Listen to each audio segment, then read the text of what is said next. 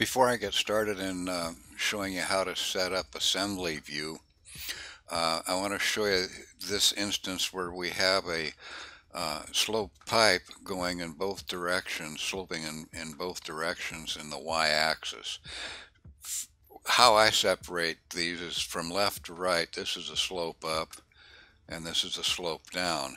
So when I create my user coordinate systems, I have a y slope minus and a y slope plus.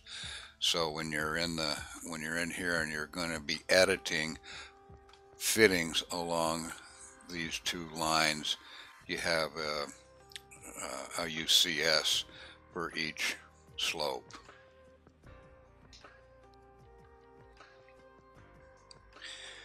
In a previous video I showed you how to uh, create a fitting for slope pipe and rotate it and then save it out as a block to be reinserted in, in other drawing files. Well here I think is something that is easier and quicker and it is the uh, assembly view and it looks like this. Now you notice we've got a learning. This is the spec okay and that's going to probably be on your network. The global however is something that you can change to your local drive and create your own assembly views uh, on your local. And you do that by going into the uh, program under specs and copying the global assembly views to a folder on your local and then just rename this to uh, Go down here real quick. And you can just highlight it and rename it to whatever you want. So when you create your fittings now, you want to make sure that you're on the proper um, pipe type uh, because if you try to do a PVC fitting and put it into a into a uh, stainless steel they, it, it doesn't work. So this is really easy to use, so forgive me if I insult your intelligence, but you want to make sure you're working in the global. We'll say new, and you just follow your prompts. What?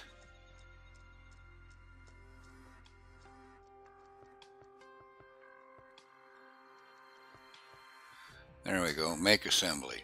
Select components. Well, we'll pick this. Pick insert point. An assembly name. And I'm going to call this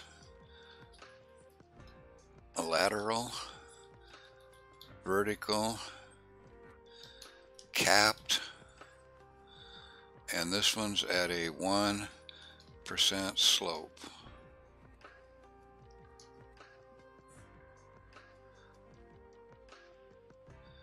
And there it is. Now, when it comes time to insert it, this is why it's so much quicker. We'll select that, insert assembly. Now you can pick where you want it and it doesn't make any difference the size of the pipe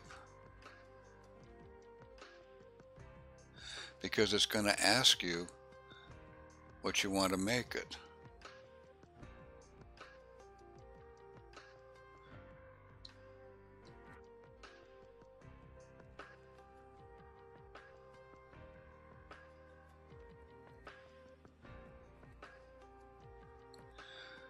Pretty slick, huh? Now, here's something you got to be careful of. If you're making a fitting like this, you've got to leave yourself enough room between the fittings for expansion because as these as your pipe size gets bigger your fittings get bigger and it starts shrinking up this uh, the pipe in between connecting them. You can always modify that um, once you once you bring it in. Um, you still have to if you're gonna if you're gonna connect this line this branch to this main and still maintain uh, your elevation here you're, you're still going to have to do what we always do with with uh, taking this portion of the pipe right? And putting it on the end of that except it's the wrong size. But anyway you, you see what I'm getting at same process as what I've shown before and how to connect this branch to this main using this fitting assembly.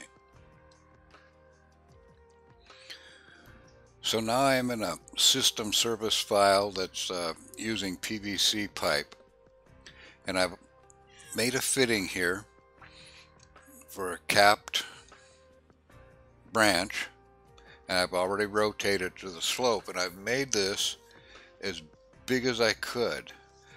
So that way, if I have to insert it smaller, I don't have to worry about the, the fittings not connecting. It's better to have it too big than too small.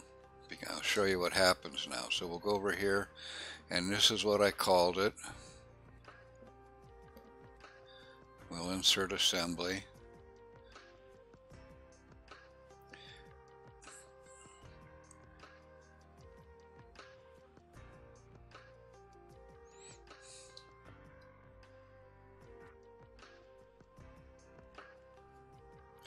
Even though I made it 20 inches, it's asking me what size I want to do it at. We'll just do the default.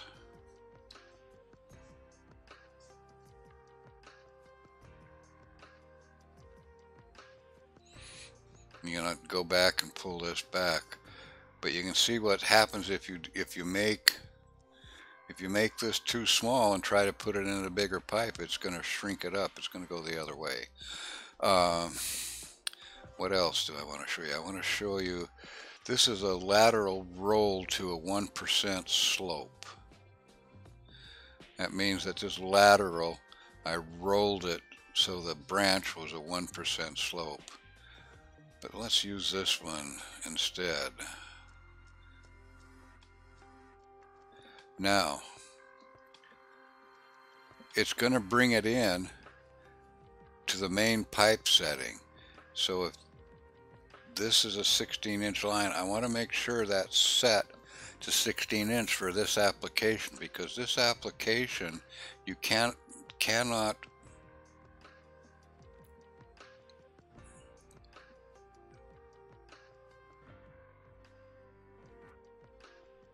This is one of those applications where you have to copy stuff around to your branch main, align your pipes up, get an intersection point, and then insert this uh, lateral. If you want to maintain the same pipe elevation without moving it, if you don't, if you don't care about where this branch line runs, then it doesn't make any difference what size you have. It'll it'll default like this uh, capped uh, lateral did. So just be aware of that. If, you, if you're going to put something in like this that you need to uh, move parts to, you want to bring it in to the size that you're going to be connecting to.